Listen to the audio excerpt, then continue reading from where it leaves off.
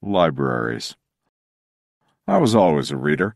I had begun to master the knack of it before I turned four, and my parents saw that I was well supplied with books from an early age.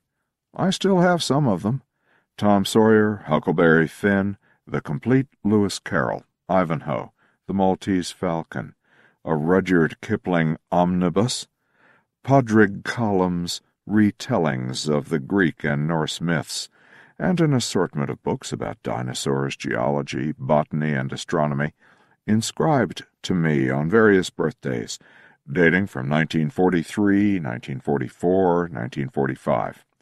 My life as a science fiction writer, I'm certain, was constructed out of that hodgepodge of science and fantasy. The dinosaur astronomy geology books, the adventures of Odin and Thor, Zeus and Hermes, Carroll's two novels of Wonderland, and the rest. But very quickly I learned that although I had an abundance of books at home, there was a marvelous place called the library that had even more, infinitely more, more books than I could possibly ever read, even though I took an armload of them out every week. Which I did.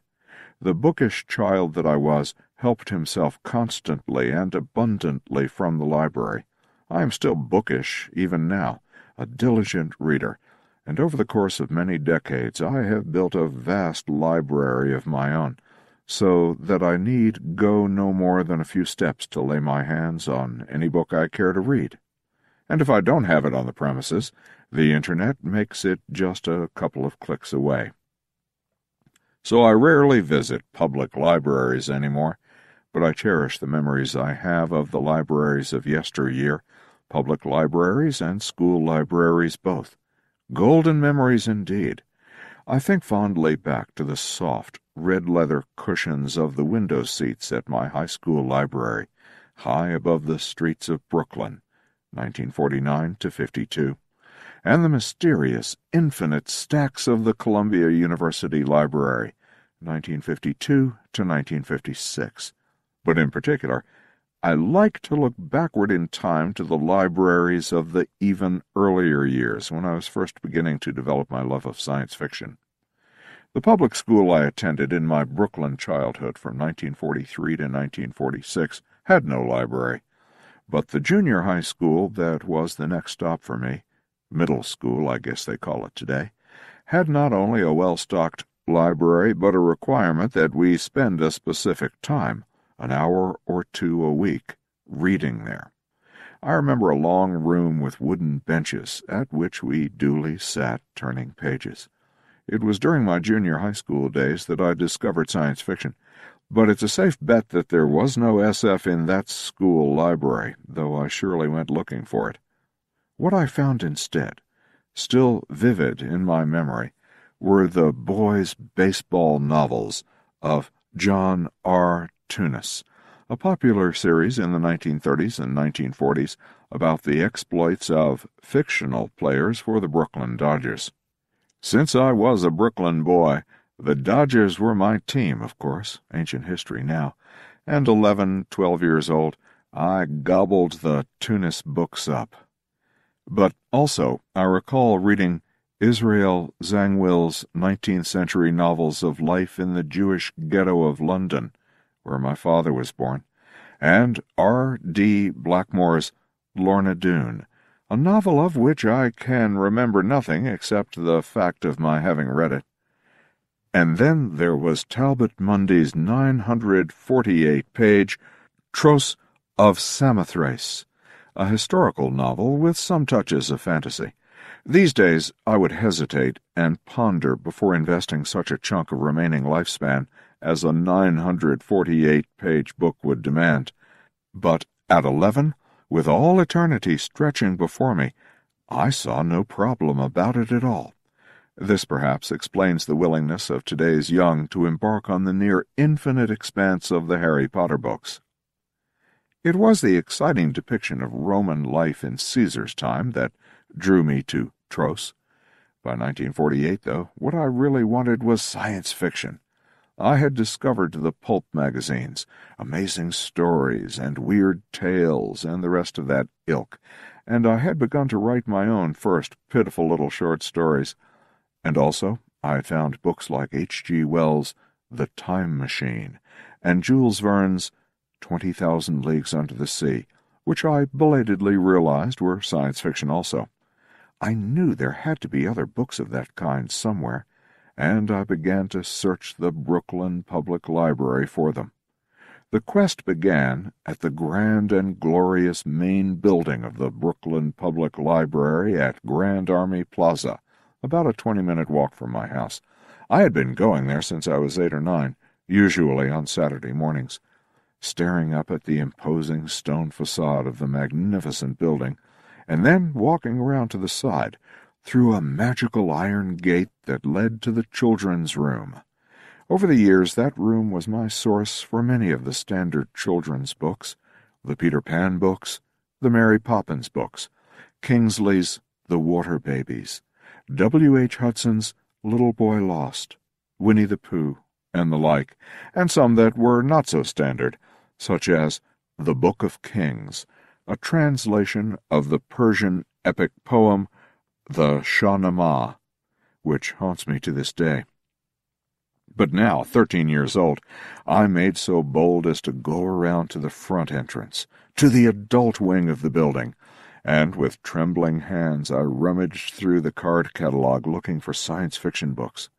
The card entry for science fiction referred me to pseudo-scientific fiction, a term which struck my high-minded younger self as offensive.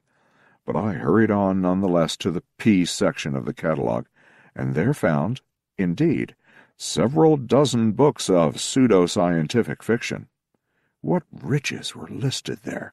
All the novels of H. G. Wells, and several by John Taine, whose novel Before the Dawn I had discovered a few months earlier, and even a few of the modern-day SF novels that had lately been issued by valiant, fan-owned small presses.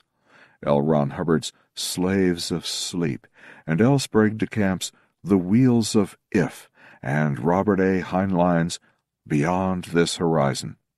And off I scurried to the fiction shelves to find them. Without success. I never found a one. Again and again I searched those shelves, but someone else had always taken out the books.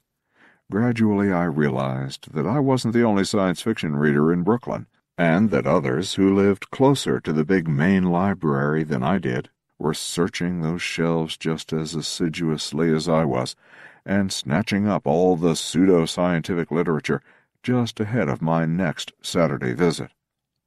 But there was another library branch, a much smaller one, just a short walk from my home, one that I had visited regularly all through my elementary school years. This was the Eastern Parkway Library at Schenectady Avenue. I haven't set foot in it in sixty years, and I probably never will again, living as I do three thousand miles away. But it's still there, says the Brooklyn Public Library's website. I remember it as a charmingly antiquated looking place, dimly lit, with wood paneling and huge wooden shelves. But it surely doesn't look anything like that now. The library website says that the original 1914 building has been renovated several times, most recently in 1975, and my guess is that it's now a place of metal shelving and glaring fluorescent lighting, and that the books I found in the children's room long ago, those 19th century collections of myths and fables, in sturdily bound editions published, mostly, between 1920 and 1940, have been replaced by the slick, slender product of modern children's book publishing. The website tells me that the current children's room has four computers available. That tells the whole story right there. When I was going to that library, primarily between 1945 and 1949, one thing that the children's room had, where those computers most likely are now, was a bound set of St. Nicholas magazine, with crimson covers stamped in gold, volume after volume, running from the 1890s through, I suppose, 1935 or so. A beautifully printed children's magazine of yester-century. I used to look through them in wonder, astonished at seeing actual ancient magazines from the nineteenth century. The nineteenth century wasn't really all that remote in time then, only fifty years separated 1898 and 1948, which seemed an awesome gulf to the me of the eighth grade, but no greater than the gap that separates John F. Kennedy's 1962 from the year 2012. Another set of books I remember from those early visits to the Eastern Parkway Library was the Oxford English Dictionary, a dozen huge volumes safely stored behind the librarian's desk in the front hall. We had a dictionary at home, of course, the second edition of Webster's International, a big yellow folio. But each of these dozen volumes was far bigger than that one. I couldn't imagine how there could be that many words in the English language. The librarian let me look at it once. I must have been about ten, and I reverently turned its immense pages pondering the vastness of our language, and in all likelihood dreaming of owning a set of those books myself some day. I never have, but I do keep close by my desk the one volume, shorter Oxford English Dictionary, only 2,515 pages long, a mere semblance of the unabridged book, but one that has proven adequate for my needs. I couldn't withdraw St. Nicholas or the OED from that library, but I must have carried hundreds of other books home over the years, all the great children's classics, three or four at a time. But the critical one, the one that set my head spinning and changed my life, was a slim paperback that I found one day in 1948, after I had stopped hunting for children's classics and had begun looking for pseudo-scientific fiction. It was the Pocket Book of Science Fiction, edited by Donald A. Wollheim, a 310 page volume of short stories that ranged from the work of Ambrose Bierce and H. G. Wells to such modern masters of science fiction as Theodore Sturgeon, Robert A. Heinlein, and John W. Campbell, Jr. I have a bright memory of standing on the steps of the library on a sunny autumn day staring in triumph at the small book in my hand, and then sprinting home to revel in it. How splendid it was to discover Stanley G. Weinbaum's A Martian Odyssey in it, and T.S. Stribling's mysterious The Green Splotches, and Sturgeon's Microscopic God. That book kindled an appetite in me that has not been sated to this day. I don't go to the library any more. I have my own copy of that Wollheim anthology, a 1947 printing, which I must have bought with twenty-five hard come-by 1948 cents soon after returning the library's copy. And I possess all those other books of yesteryear, too, now. If I want to read Heinlein or Hubbard or De Camp, or Winnie the Pooh for that matter, or the Water Babies, or the Book of Kings, I need only go downstairs and cast my eye along my own shelves. But I will never forget those library days of long ago. The excitement of discovery, the sense that these wondrous books were shaping me into the person I would become. And I suspect that each of you has some similar memory of your own.